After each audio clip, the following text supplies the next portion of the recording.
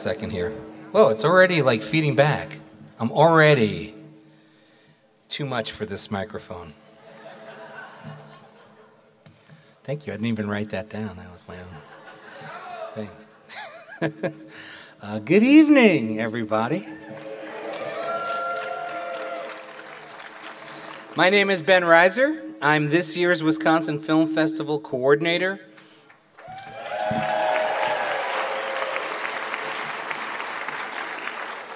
I've, been going to like a, uh, a coach all year about when to take, you know, pauses for applause and things like that.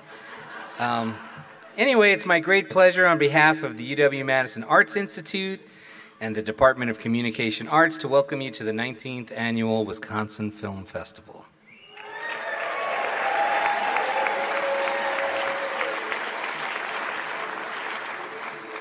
Yes, I'm excited too. So, anyway, I was out to dinner last night with my wife and my teenage daughter Lily. My preteen son Jack stayed home because, as he told me, he's, quote, sick of going out to dinner with us all the time. anyway, as our fried cheese curds arrived, Lily asked me if I'd be making a speech tonight. And I said, yes. Well, I'll be welcoming everyone to the festival. And she said, uh, You'll talk about me, right? And I said, uh, No, I won't be talking about you, and I won't be talking about me. I'm not accepting an award or anything like that. I'm just welcoming everyone to the festival. In fact, I had planned on thanking all the people I work with for all the hard work they do in the months and weeks leading up to the festival. I was going to name them all and tell you all something interesting and funny about each one of them. I've got plenty of great things to say about all of them. But then my boss told me I was bound to forget one of them, which would not be good. And also that no one wants to hear a whole laundry list of names of people they don't know doing jobs they aren't really aware of. So, okay. Suffice to say that everyone over at the uh, Arts Institute uh, and everyone over on the communication arts side of the street have come together as they do every year and worked longer and harder than you can possibly imagine to deliver this eight day wonder of a festival to your doorsteps.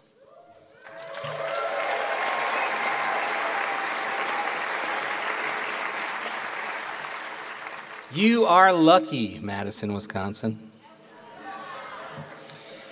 And in return, we're lucky. We are lucky to have you, such a loyal and dedicated audience of film fans who return with us every year to enjoy a spectacular array of cinematic treats.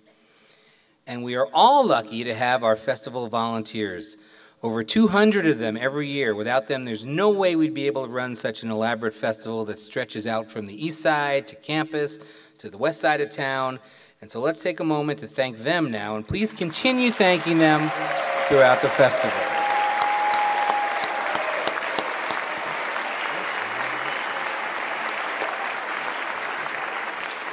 And of course, our sponsors are uh, hotels, restaurants, venues, all kinds of businesses, organizations, uh, campus departments, groups, large and small. We appreciate their support more than we can say.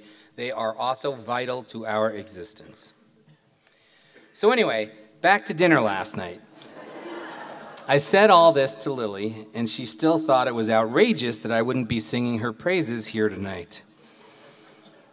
And I asked her what it was she thought I should say about her. I said, Do you want me to mention that you just got on the lesser of two junior varsity soccer teams at West High School?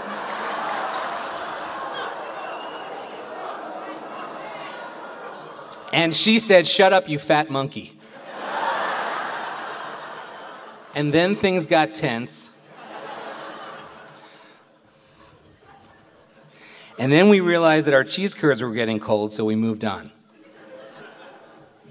Uh, but today I was thinking maybe I should say something about myself tonight because my first real experience with the Wisconsin Film Festival was as a Wisconsin's own filmmaker. In 2010, I submitted a short film to the festival and was shocked and amazed when it got accepted. And then I was even more shocked and amazed when it won a Golden Badger Award. Right on. Some Grapes of Madison fans in the house tonight. Um, and, uh, and as amazing and as surprising as all that was at the time, I would have been a hundred times more shocked uh, to even have imagined that six years later I'd be coordinating this truly wonderful, spectacular festival.